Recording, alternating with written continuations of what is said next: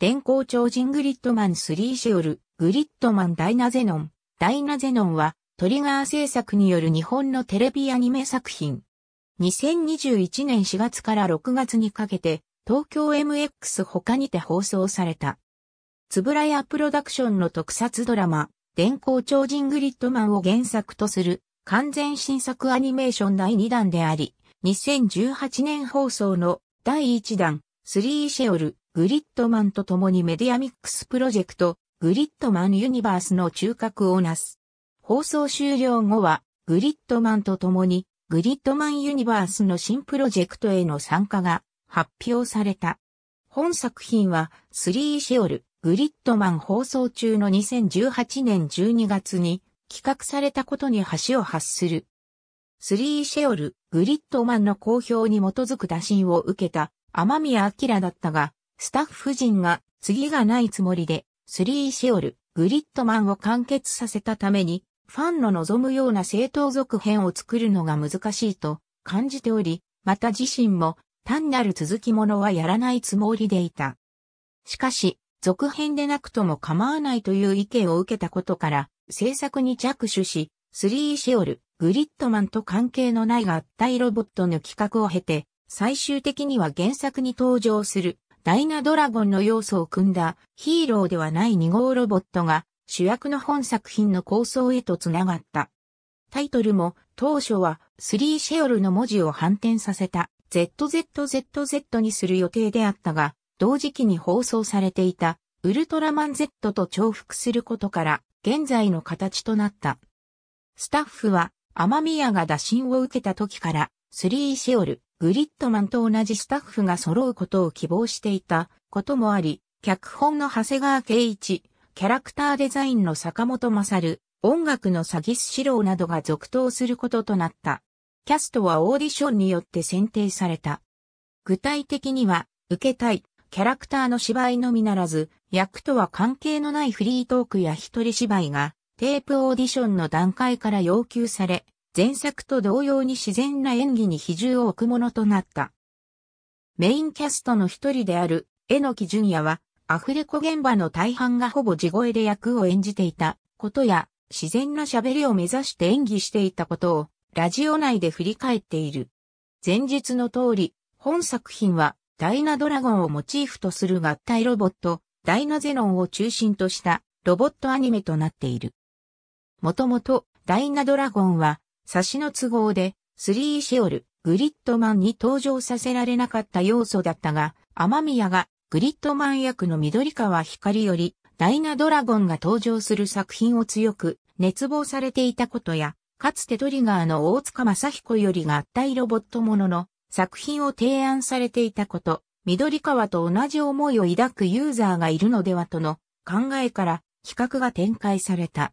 同時にダイナドラゴンが初登場した原作第18話、竜の伝説におけるミイラや伝承の要素も取り入れられた。ストーリーは、スリーシオル、グリッドマン同様、原作の電光超人グリッドマンを知る入り口となる作品にすることが意識されており、ストーリー構成もマーチャンダイジングごっこと称される架空の商品計画に沿って各話のネタや大まかなストーリーラインを決めた後、長谷川が調整を行う手法が引き続き採用された。マーチャンダイジング設定は、玩具サイズに縮小するロボットたちが登場することも理由に挙げられ、登場人物たちが日常的に触れることで、プロップとして扱われるようにする狙いがある。この一方で、前作の結末をなかったことにしたくないとするスタッフの総意から、ダイナゼノン単体で前作と同じ面白さを追求することが施行され、世界観、設定、登場人物は一新された。ストーリーの中盤では、スリーシオル、グリッドマンの要素であるグリッドナイトが登場するが、これはマーチャンダイジングの流れに沿ったテこ入れ的な設定であり、主人公サイドがパワーアップするにあたっての追加要素として意図的に設定された。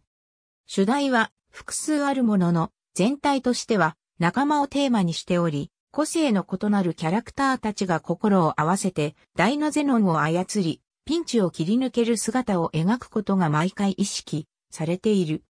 天宮は出会いや別れを描く上で合体ロボットという題材が最高の舞台であると語っており、これを中心に据えることで問題を抱えた人物たちが傷つけ合いながらも同じ道を進むという、ある種、面倒くさい人の営みを描こうとしたと語っている。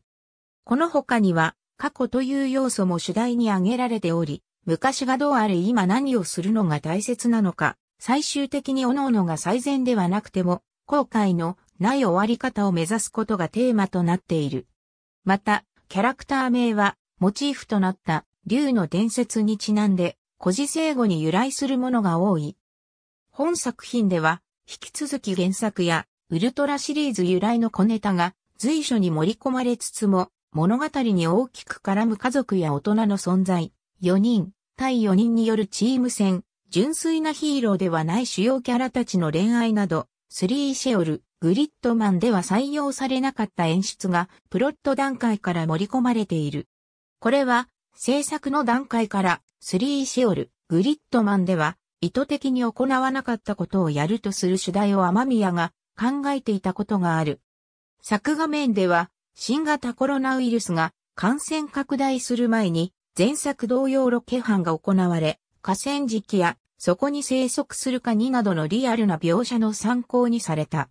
ロボットはグッドスマイルカンパニーが展開するモデロイドが参考にされており、作画が楽になるとの理由から、野中のデザインからアレンジされた要素が反映されている。東京都の藤置第に暮らす高校生の朝中よもぎは、ある日、河川敷で空腹で雪倒れていたガウマという青年を助けたことで、彼の命の恩人として慕われるようになる。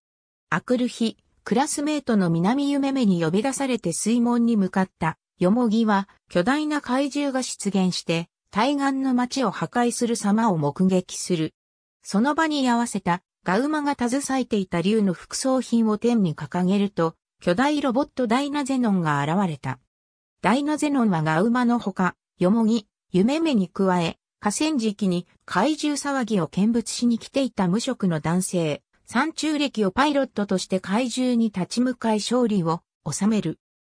ガウマは自身を怪獣使いと名乗り、怪獣を使って世界の破壊を企む怪獣優勢思想という敵の存在と、ガウマ自身もかつてはそのメンバーであったこと、自分たちは今から5000年前に一度死に、現代に蘇った人間であることを明かし、暦の10枚である、アスカ河内瀬を加えた5人で、ダイナゼノンを買って怪獣と戦うガウマ隊を結成。ダイナゼノンを使いこなす訓練を重ねつつ、怪獣優勢思想が次々に繰り出す怪獣に戦いを挑んでいく。怪獣が世界を導く存在だと主張し、ガウマから人類の敵と断じられる集団。アイドルを彷彿とさせる白基調の衣装が特徴。対象に向けて手のひらをかざして中指と薬指を開き、インスタンスドミネーションのコードにより、両者の目が赤く光ることで怪獣を掴むことができる。ガウマ同様5000年の時を経て復活した存在であり、かつてはガウマと共に国の統治と繁栄に協力していたが、次第に国が排除を強めるようになったことで、現在の思想に至り、ガウマとの戦いの末に倒された過去を持つ。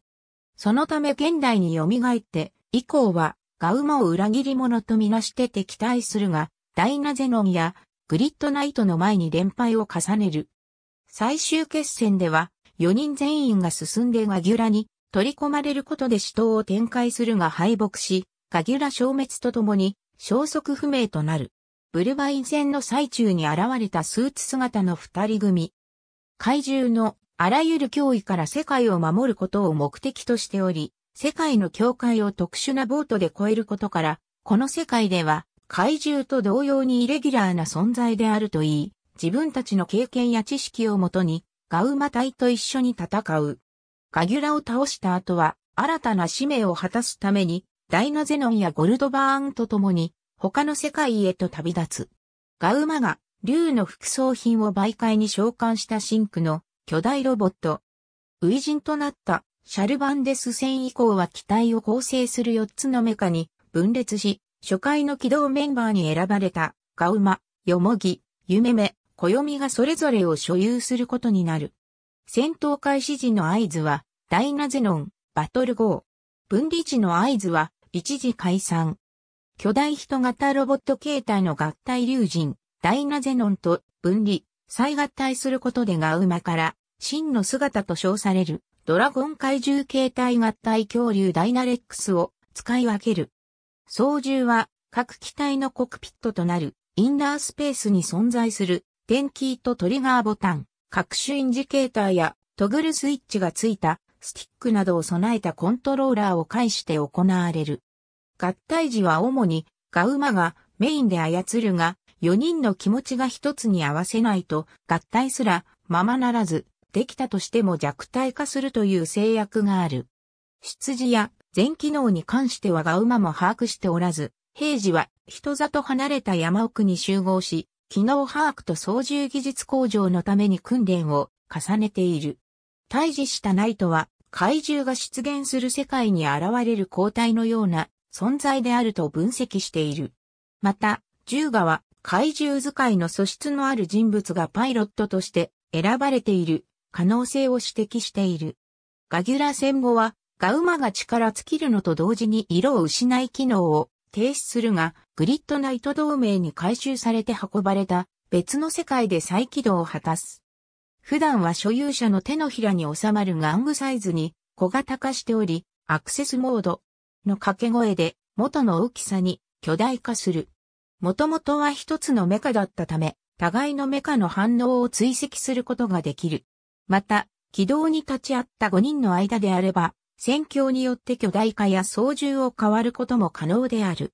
本作品の怪獣は何者かによって意図的に巻かれた怪獣の種をもとにして誕生しているとされ、関東近郊を中心に出没している。すべての個体は共通してカラフルな体色と透明アクリルのような突起振動破棄感を持ち、交流子カオスブリンガーの発生と同時に固有の能力を発揮できる。怪獣優勢思想が成長段階の怪獣たちをつかむと急成長し、彼らの意のままに破壊活動を行う。またグリッドナイト同盟は人間の感情が作用した結果により誕生する存在であると分析している。また、この他に5000年前にも怪獣使いの刺激する怪獣が第10回に登場している。この他、鬼頭あかりの23時の春来少女、内田真彩のノーシナリオが劇中 BGM として使用されている。各サブタイトルのフォーマットは、て、何？で統一されている。トリガー協力のもと、つぶらやプロダクションが制作を手掛ける全4回の実写作品。映像ソフトの追加特典として収録される。アニメではできない演出としてドローンや GoPro を多用している。二代目は実写で登場しているが、顔がギリギリ見えないようにしている。YouTube のポニキャンの公式チャンネルにて、期間限定で、天宮明書き下ろしによる、ボイスドラマが配信される。限定エピソードを含めて、映像ソフトの各監特典 CD に収録される。朝中よもぎ役の榎木淳弥と、南夢目役の若山詩音による、ウェブラジオ、アニメダイナゼノンラジオよも夢インパーフェクトが、2021年4月8日から6月24日まで、音泉にて毎週木曜日に配信された。ありがとうございます。